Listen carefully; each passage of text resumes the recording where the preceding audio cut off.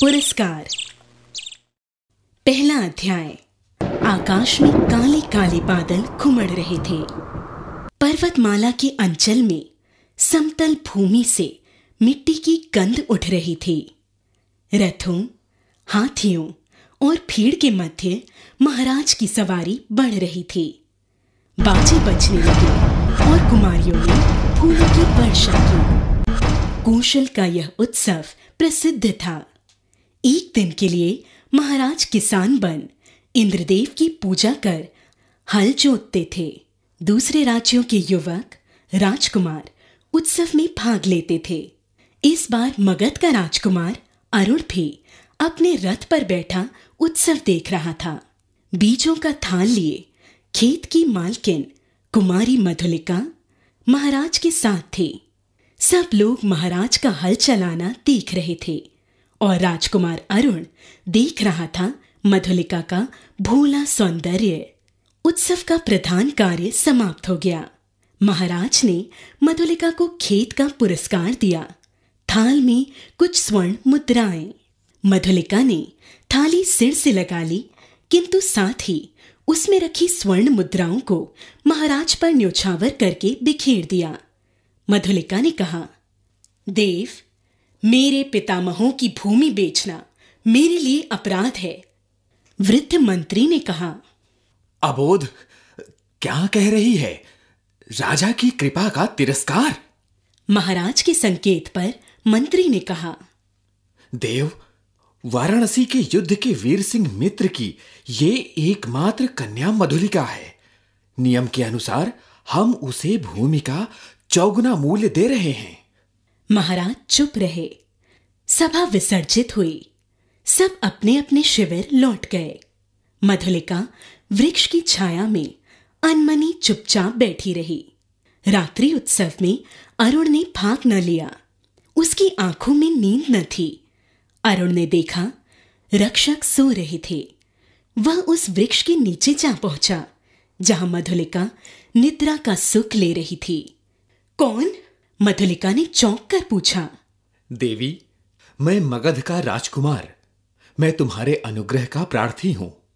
मेरा हृदय तुम्हारी छवि का दास बन गया है। मैं कौशल नरेश से तुम्हारी भूमि तुम्हें दिलवा दूँगा। नहीं मैं राष्ट्र नियम नहीं बदलना चाहती। चाहे मुझे कितना ही दुख हो। मधुलिका उठकर चल दी। राजकुमार लौट गया। मधुलिका ने राजा का अनुग्रह नहीं लिया। वह दूसरे के खेतों में काम करती और कठिन परिश्रम से जो सूखा अन्न मिलता, उसे खाकर झोपड़ी में पड़ी रहती। आसपास के किसान उसका आदर करते थे। इस तरह दिन, सप्ताह, महीने और वर्ष बीतने लगे। दूसरा अध्याय। मधुलिका बीते क्षणों को याद कर रही थी। अत्यधिक गरीबी ने उसे और अधीर कर दिया था। बाहर वर्षा ने भीषण रूप धारण कर लिया।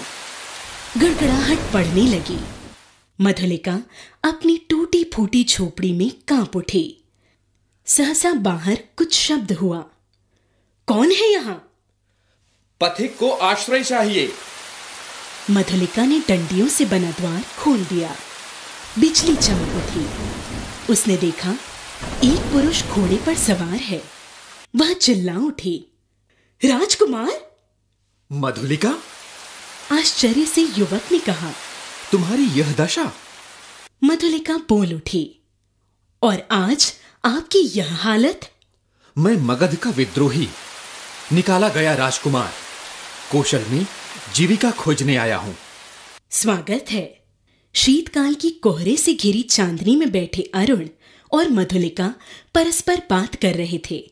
इतनी गरीबी में इतने सैनिक साथ रखने की क्या आवश्यकता है? मैं अपने बाहुबल से नया राज्य बनाऊँगा। ओह तो तुम्हारा उत्साह कम नहीं हुआ? तुम्हारी इच्छा हो तो मैं प्राणों की बाजी लगाकर तुम्हें कौशल के सिंहासन पर अपनी रानी के रूप में बिठा दूँ। मधुलिका काँप उठी। क्या? यह सत्य है मधुलिका। कौशल नरेश तुम्हारे लिए चिंतित हैं। वे तुम्हारी प्रार्थना अस्वीकार नहीं करेंगे। कौशल के सेनापति अधिकांश सैनिक लेकर दस्यु नाश के लिए बहुत दूर गए हुए हैं। जो कहोगे वही करूँगी। मधुलिका ने कहा अगले दिन कौशल नरेश के दरबार में आकर मधुलिका बोली देव तीन बरस हुए मेरी भूमि ले ली गई थी। ओह तो उसका मूल्य मांगने आई हो। नहीं दक्षिणी नाले के समीप उतनी ही जंगली भूमि दे दें। मैं अपनी खेती वहीं करूँगी।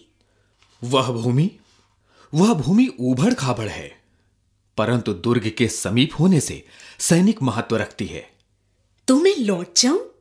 सिंह मित्र की कन्या तुम निराश नहीं लौटोगी।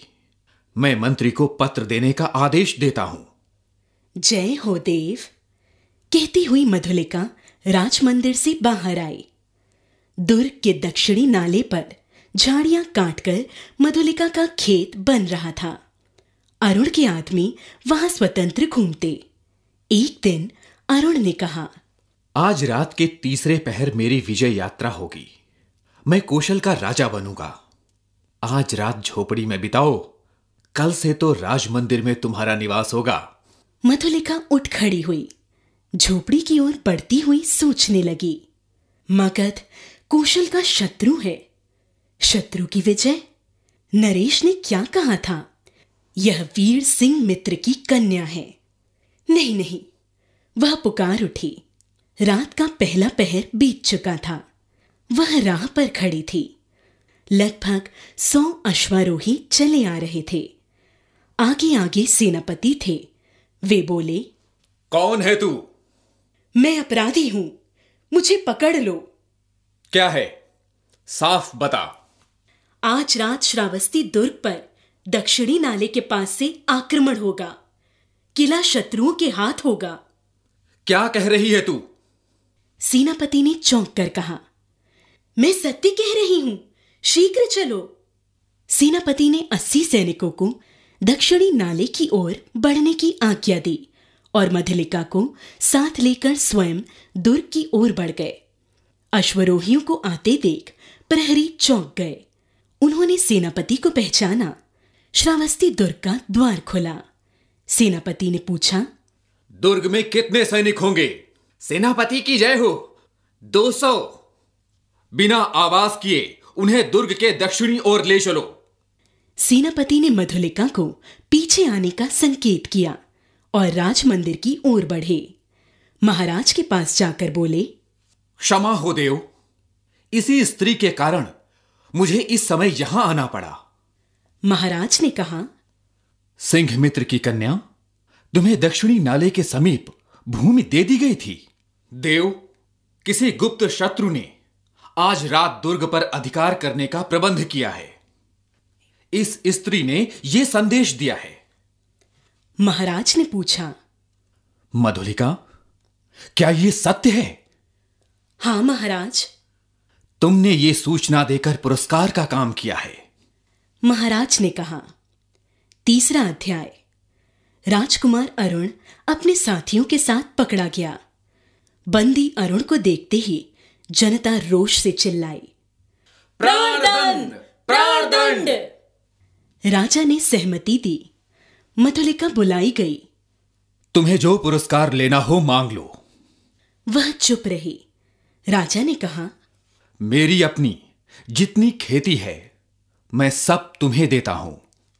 मधुलिका ने बंदी अरुण की ओर देखा और कहा मुझे कुछ न चाहिए। अरुण हंस पड़ा। राजा ने कहा नहीं मैं तुम्हें पुरस्कार अवश्य दूँगा। मांग लो। तुम मुझे भी प्राण दंड मिले। कहती हुई वह बंदी अरुण के पास जा खड़ी हुई। श्री जयशंकर प्रसाद